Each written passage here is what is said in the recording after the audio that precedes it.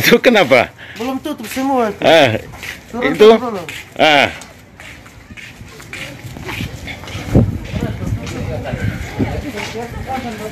Saling klaim para penjual yang sudah tutup dan belum. Nah, ini sudah tutup. Irfan. Irfan, weh. Kelihatan. Mama tadi tutup jam berapa, Mak? Ya, itu tutup jam setengah tiga, nah ini barang banyak. Oke, Oh. habis suruh jam bagi. Oh iya, ya. Baik, Mak ya. Iya.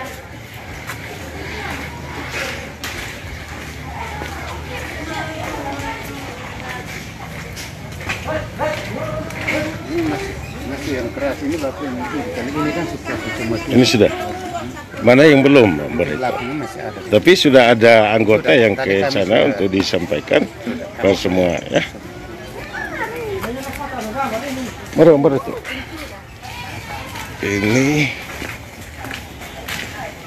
sementara?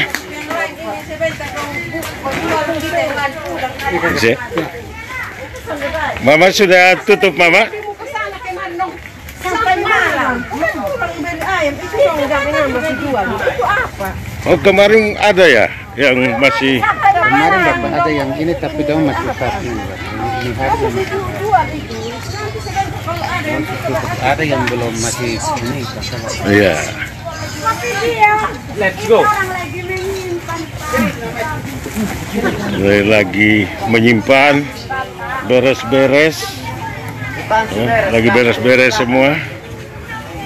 Eh, memang masyarakat terlihat masih menyesuaikan kondisi ini.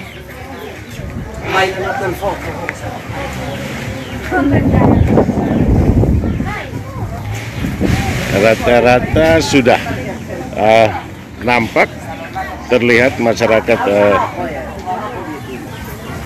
sebagian besar sudah mengikuti instruksi PPKM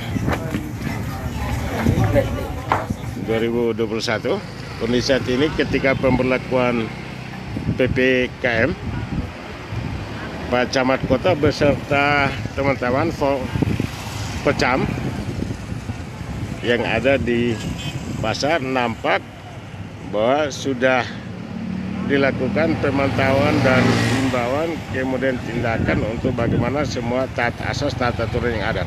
Pak Camat, ini ada tadi sini bersama teman-teman itu jam berapa? Sejak jam 2 tadi, jam 14.00 Kalau saya instruksi Bupati uh, untuk pasar, di dalam pasar ini uh, kegiatan uh, jual beli itu mulai dari jam 6 pagi sampai dengan jam 15 Karena itu kami sudah ready di sini dari jam 2 untuk mensosialisasikan kepada masyarakat yang uh, ada transaksi jual beli di pasar untuk menghentikan, menutup kegiatannya tepat jam 3 tadi.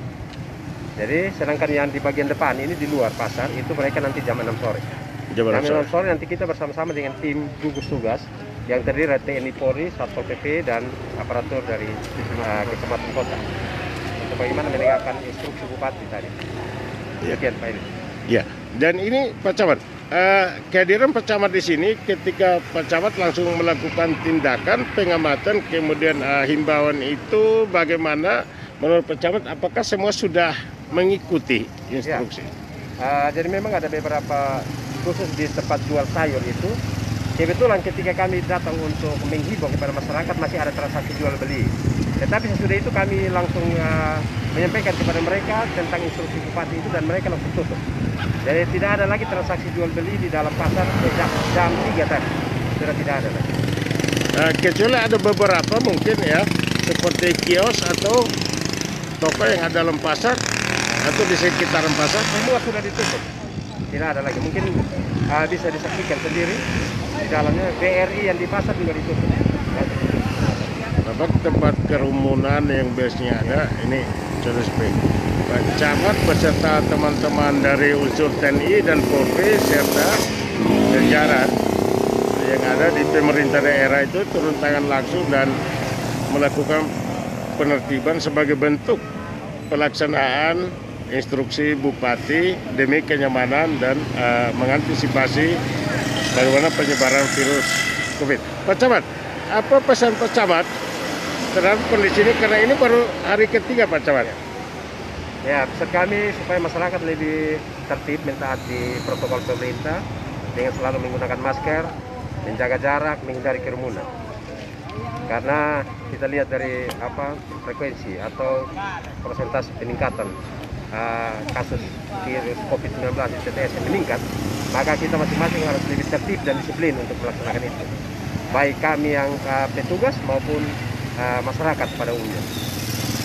Ya, baik terima kasih Pak Camat. Dan kondisinya Pak Camat akan tetap pantau setiap saat, Setiap hari. setiap hari. Setiap hari nanti malam kami dengan gugus tugas lagi keliling. Kalau siang nanti dengan petugas penertiban pasar. Begitu. Oke, terima kasih Pak Camat, Ya, teman-teman terima semua. Ya. Demikian eh, siaran dari Sonline News untuk saat ini. Terima kasih.